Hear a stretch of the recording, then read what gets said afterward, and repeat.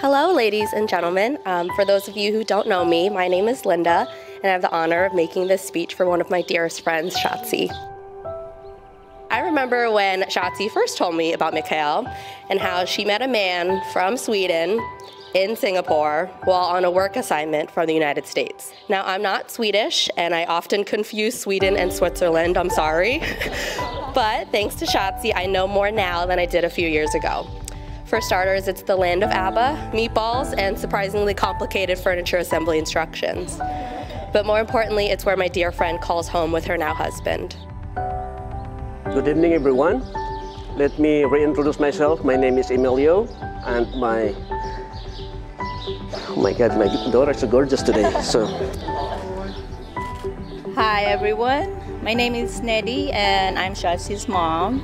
And um, my husband and I are so happy and grateful that we are all gathered here to celebrate the big event of Shotzi and Mikael. So in the email they said that the speech should be two to three minutes. Um, so we'll try to to hold to that. We'll see how it goes. Shotzi, you're an amazing, a ray of sunshine, shining with both light and warmth. It's easy to see that you're made for each other. And it's an incredible luxury for us that you moved to Sweden so we can be more involved in your lives. Shotzi, you are the love of my life and my best friend. You're everything I ever wanted in a partner. You're kind, smart, beautiful, and you always put everyone else above yourself. From this day forward, I promise to always be there for you. I promise to dream with you, celebrate with you, cry with you, and walk beside you through whatever life brings.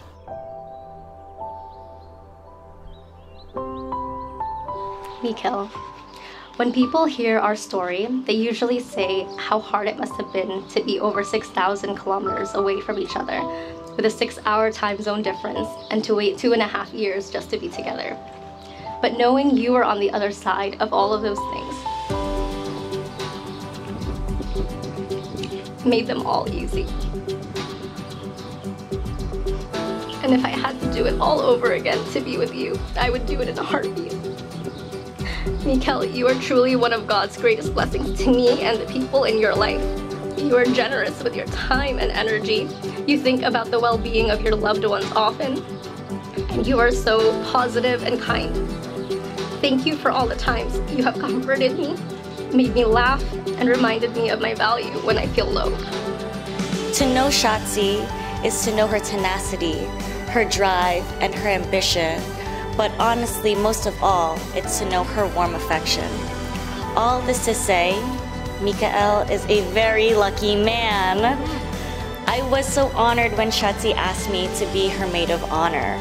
I hope you all can tell that I would go to the ends of the earth for this woman, and it's because I have been so blessed with her friendship.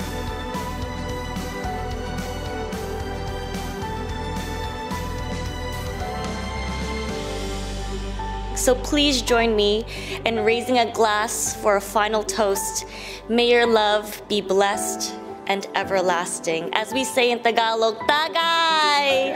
Let's party!